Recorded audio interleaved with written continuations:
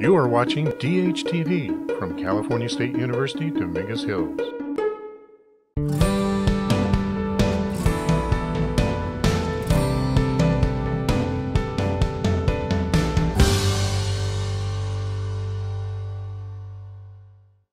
Hello, I'm Professor Gus Martin, and welcome to Criminal Justice Administration 443, Criminal Law and Justice Administration.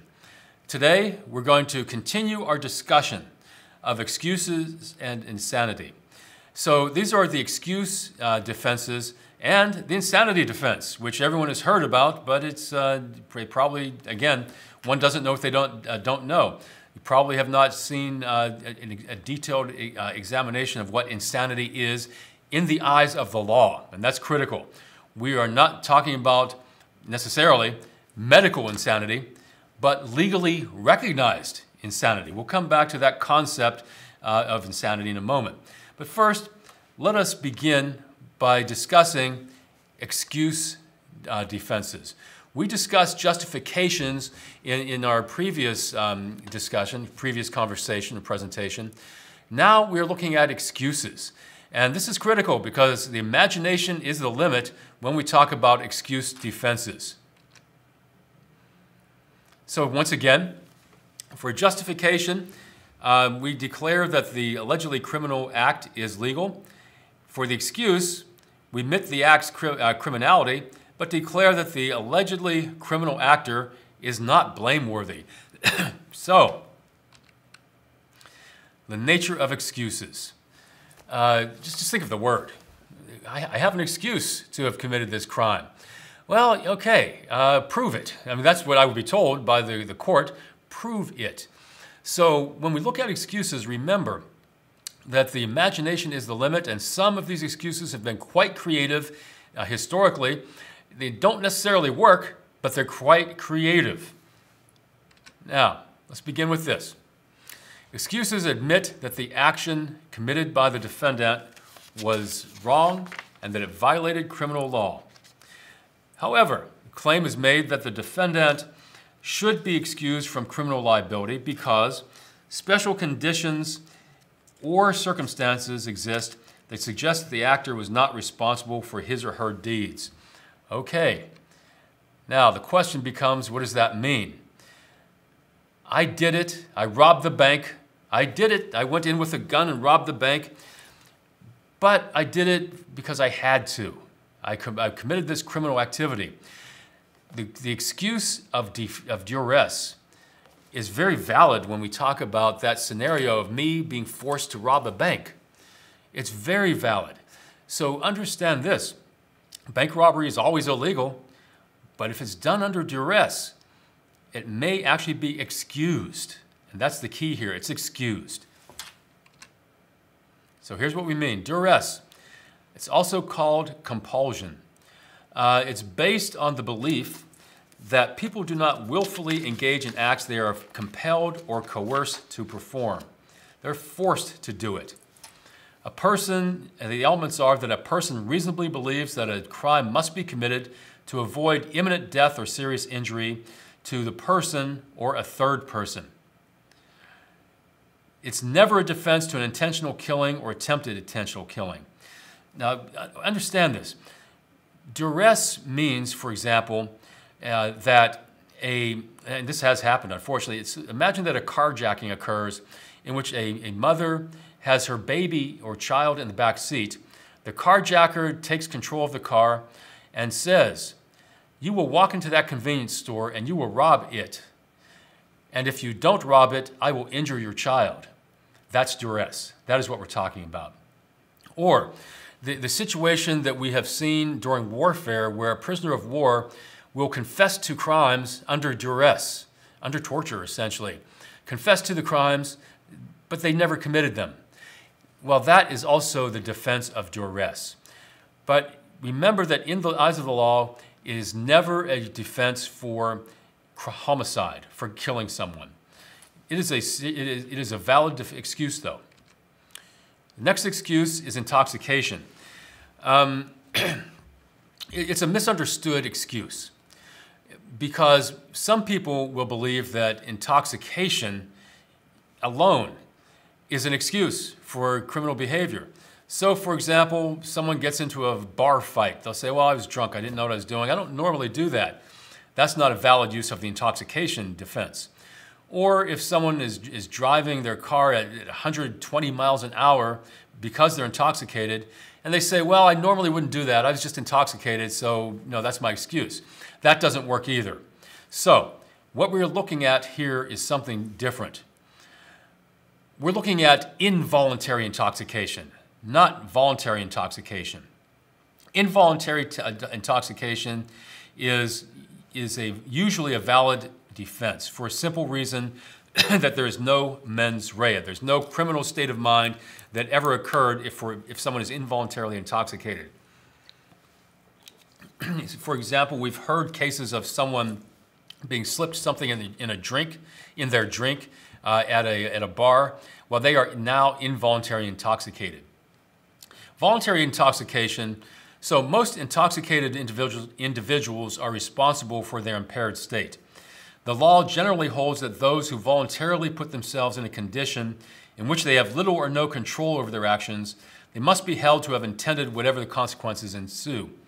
Now, what this means is that no matter what we do when we're intoxicated, if we were voluntarily intoxicated, we can be successfully prosecuted for this particular crime, even if it is a killing, even if it is a murder, um, a rape, whatever it might be.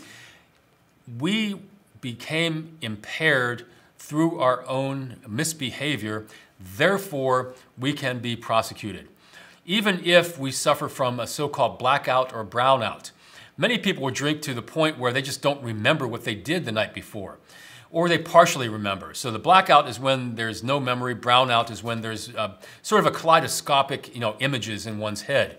Now, the blackout means that your memory is gone. It's wiped. It's, you could argue there's a form of brain damage, but it's gone. Even if one were to wake up in a jail and, be, and they were told that they killed someone the night before, they will never remember it again. That's irrelevant if they became voluntarily intoxicated. The next excuse is the excuse of mistake. Um, you could call this perhaps the, the, the oops defense. It's like, whoops, I didn't mean to do that. That's the mistake. Well, sometimes it works and sometimes it doesn't. Depends on the circumstances. So let's take a look at this. The excuse of mistake or the oops mistake, oops excuse. It occurs under two circumstances. Um, defendant does not know that a law exists or prohibits the act, which prohibits the act, or they know about the law, but they're mistaken about a fact. So, they don't know that the law, that what they're doing is illegal. Or they know about the law, but they're mistaken about what they are doing. So, an honest mistake is one that is genuine and sincere and not a pretext. And that's the key here not a pretext offered merely to hide criminal intent. Well, uh, there's an old saying that ignorance of the law is no excuse. That, that old saying is still valid. If I, for example, just beat someone up who is calling me names, and I don't know it's illegal to just beat someone up just because they called me names, well, I'm still going to be prosecuted for battery. Um, because that's, a that's not a proportional response to, to words. You know, someone just uh, beating me up, someone just calling me names. The, the mistake defense frequently does not work. It can, but it frequently does not work because ignorance of the law is no excuse, for the most part. Depends on the attendant circumstances, though.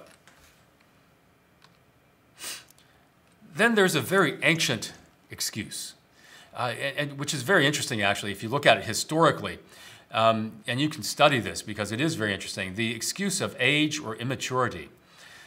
In other words, the person claims that they were too young to form the requisite mens rea, that they did, did, not, did not have the the physical or mental capacity to have a criminal state of mind or some other impairment. Then, so this is interesting. Now, at common law, historically, what we see here is, um, and, and this is arbitrary, clearly this is very arbitrary. Below the age of seven, at common law, it was a conclusive presumption that a person, a, a child, was incapable of forming the mens rea needed for criminal activity. Between the ages of, of 7 and 14, again, this is very arbitrary common law, uh, there was a rebuttable presumption that cr- uh, criminal intent could not exist. Except that children from the, between the ages of 7 and 14, it was held, it's conclusively presumed they were unable to commit rape. And then from ages uh, 14 and above at common law, uh, the you know, teenagers essentially were treated as adults. Now, clearly, this is the old rule, but modern statutes have wide variation uh, on this. So that what does tends to happen is sometimes teenagers will be certified as adults and prosecuted as adults, even though they're below a certain age. People above a certain age are considered to be uh, uh, legitimately uh, able to be prosecuted as adults in criminal court. So, for example, it's just an example. Individuals over the age of 17, that is 18 and up, will be tried as adults in many jurisdictions. Or it could be the age of 16 uh, on up. Now, the thing about this is that in most jurisdictions now, teenagers can be certified as uh, de facto or, or, I guess de jure adults, and then they can be prosecuted and sentenced to prison. So for many years. So just understand that this idea of infancy and immaturity could work under some circumstances, but in uh, states where this certification process exists, it may or may not work depending on the crime. This word, entrapment as an excuse, generally happens when an individual uh, is is actually confronted by an undercover police officer, let's say. The undercover police officer Uh, is present at the scene of a crime. The individual walks up, the individual commits the crime, and then the police officer reveals their true identity. The person who's being prosecuted will frequently claim that they were told to do it by the police officer. They were entrapped. So, for example, Let's say that it is a fencing ring in which the police set up, pretend that they are criminals, they set up an operation and get the word out that they are accepting stolen goods. And I walk in with my stolen television set or stolen jewelry and I give it to the police officers. And then I'm arrested. I did steal it, but my claim is I was entrapped. I normally would not have done this if they hadn't set up this business and gotten the word out. Well, that is not entrapment. That's just me not knowing any better. You don't know what you don't know, once again. So let me explain entrapment. The elements of entrapment are that law enforcement officer will investigate, insti- excuse me, instigates the offense. The officer creates the defendant's intent to commit a crime. The intent is in the mind of one not, not otherwise predisposed to do so. So, in other words, the police officer talks the person into committing the crime. They absolutely talk them into it. In this particular case example, this is entrapment for a drug deal. An individual known to possess is known to possess illegal drugs. the undercover police officer affords a chance to sell. The individual consents to the sale, and then the legal arrest is made. In the second, in the lower row, you see, the individual is known. The undercover police officer uh, affords a chance to sell. The individual refused to sell the drugs. The officer then offers 10 times his original price and talks him into it. Individual consents to the sale. That would be an illegal uh, arrest. That would be entrapment. So the bottom line is this that if the police officer talks someone into committing a crime, that is when one is entrapped. It's not entrapment if the individual just conducts a, a, a transaction with the police officer. In the modern era, mental health and other psychological conditions are much better understood than they were in, in, um, in previous centuries, really, not just uh, previous decades and, and centuries. These syndrome based defenses can be quite effective in, a, in, in presenting a valid defense. as long as it can be shown that the syndrome truly exists. Now, the, this concept of a syndrome did not exist until very recently, uh, in, late in the 20th century, in fact. They now are valid defenses. So let's take a quick look at the syndrome defenses and, and understand them because they are um, they, they're becoming more and more and better and better understood from a legal perspective. First of all, a syndrome is defined as a complex of signs and symptoms presenting a clinical picture of a disease or disorder. If it can be demonstrated that a person charged with a crime was suffering from a known syndrome at the time that the, uh, at the, the time that the crime was committed, then such a showing may lower or eliminate criminal liability. Now, it's important to understand this, this idea. So here we have a situation called, it's something called battered woman's syndrome.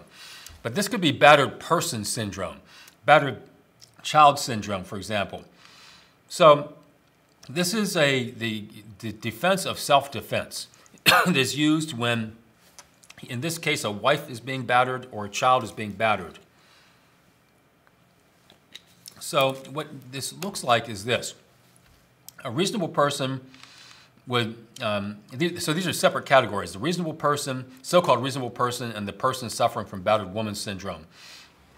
Perception of the situation from a reasonable person is they, they see that there's a possibility to leave the scene of the relationship. There's a chance of help from law enforcement. If someone suffering from this battered woman syndrome says there's no chance to escape the situation, they're alone, completely alone in this uh, uh, against this battle against their husband. The response for a reasonable person is they leave the house before the encounter and seek help and shelter. Here, uh, the, the person suffered from battered, uh, the battered person uh, reacts with great force against the husband to prevent the attack. The outcome is that the reasonable person, the husband, is arrested for the assault. The outcome for the person who is battered, the, the woman ends up killing the husband. This occurs. This occurs um, more often than one would like. what is happening here is we see that sometimes, for example, a child will kill a parent. Very often, that's a battered child killing a parent. We see here also that women, or you know, meaning could be a wife, it could be a girlfriend, whomever, kills their batterer. If they can show that they were suffering from this syndrome, they people have been acquitted completely of killing them, murder, whatever it might be.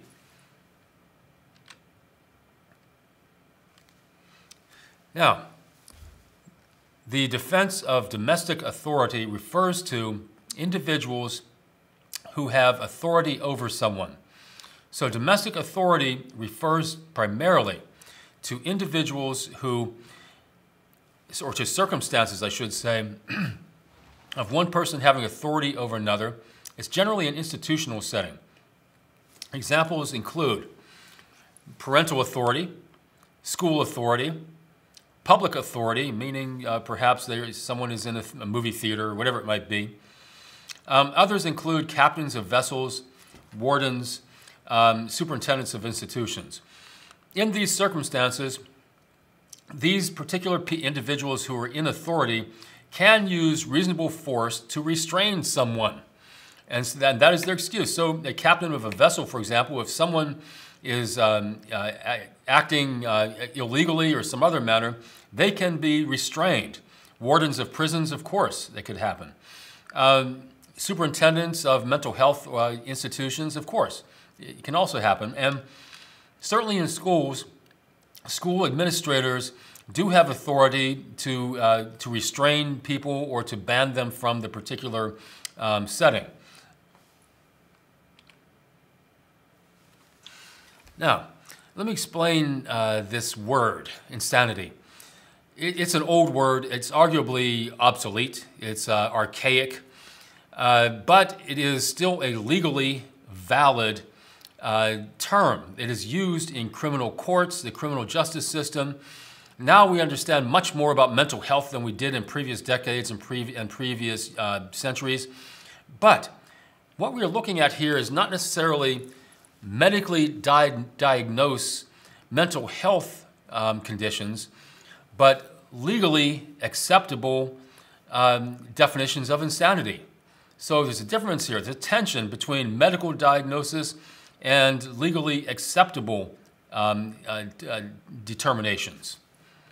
So let us begin. What we're looking at here is competence, competency to stand trial.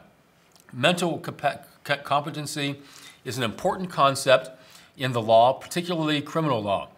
A defendant, defendant's mental state is assessed during different legal tests at various points in the criminal justice process. So here, when we talk about competency to stand trial, here's the individual who's accused of a crime. If they're unable to assist in their defense, or they're unable to stand, understand the charges, they may be uh, receive mental uh, treatment in a mental health facility. Once they are competent to stand trial, it's restored, then they will go to court. But if they are uh, able to consult with the attorney and they understand the charges, they go directly to court. So that's what we look at legally. If they're unable to assist in their defense or unable to understand charges, that's what we're looking at. Not necessarily a mental health diagnosis, but whether they are able to do these things.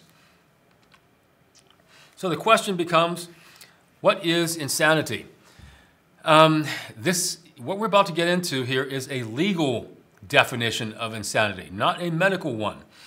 And you'll see that the definition we're going to begin with comes from a legal dictionary. Black's Law Dictionary warns that the term insanity is a social and legal term rather than a medical one. It goes on to define the concept as a condition which renders the affected pers- person unfit to enjoy liberty of action because of the unreliability of his behavior with concomitant danger to himself and others. So, I cannot emphasize this more. This is a legal approach and not necessarily a medical approach. And so, what we see here is that the consequences. So, we're looking at guilty but mentally ill and its effect. Basically, a person can be found guilty if they are found to have a, a legal condition, or excuse me, a, a, uh, a legally insane condition. Guilty but mentally ill, they can be found not guilty because they can argue that the mens rea did not form. Not guilty by reason of insanity, and guilty but mentally ill. Okay, this is a, legal approach, not a, a medical approach. A jury must return a finding of guilty but mentally ill if every element necessary for conviction has been proven beyond a reasonable doubt. In other words, just the uh, regular elements of, for example, burglary or um, battery. The defendant is found to have been mentally ill at the time the crime was committed. So they're legally, mentally ill at the time the crime was committed. But the defendant was not found to have been legally insane at the time the crime was committed. So there is the difference here between mental illness and legal insanity. It's critical one. So this is the approach of the criminal justice system in the United States. Which brings us to something similar. Um, diminished capacity. Diminished capacity is a, an approach that um, refers to simply having a, a, a lowered capacity than a person who is usually considered to be a reasonable or um, normal under the circumstances, if you will, or, or something similar to that. Now, the claim of the, of the, the defense of uh, diminished capacity is available in some jurisdictions, not all. Based on a mental condition that would not qualify as a mental disease or a mental defect, nor would it be sufficient to support the affirmative defense of insanity, but it might still lower criminal culpability. For example, intellectual instability, you know, having some sort of psychological condition, perhaps, um, or so called automatism. having a, um, a physical uh, condition like epilepsy, narcolepsy, or fainting spells, something like that can be used as, a, as, a, as a, an excuse. And it can become quite um, effective if one does it and says that they were in a diminished state at the time of their particular uh, uh, behavior.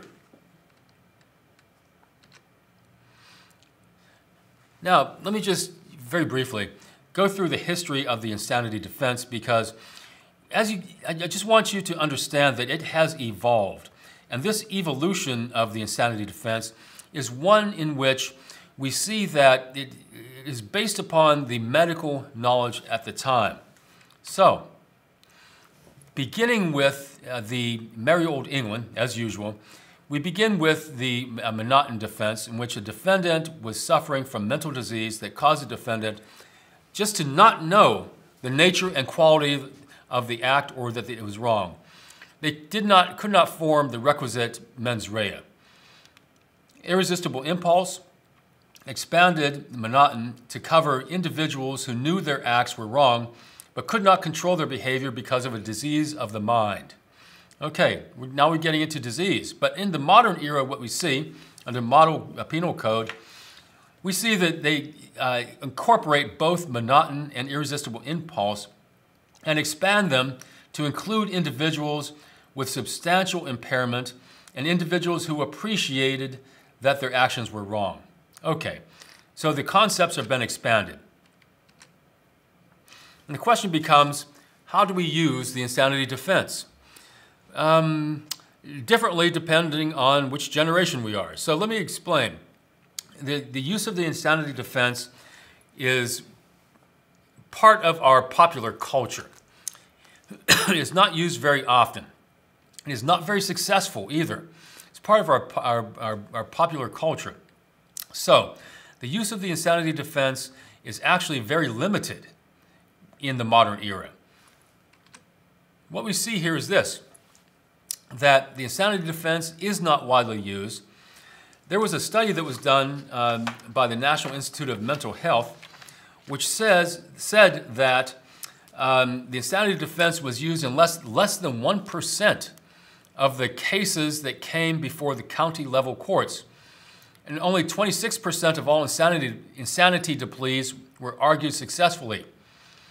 90% of those who employed the defense had been previously diagnosed with a, a mental illness. So as we can see here is that basically the insanity defense is uh, popular in our popular culture, and we talk about it, we all know about it, but it's rarely used and rarely successful. And most uh, people who tr- attempt to use it, 90% of them were already um, diagnosed. So the bottom line is this the insanity defense uh, is there.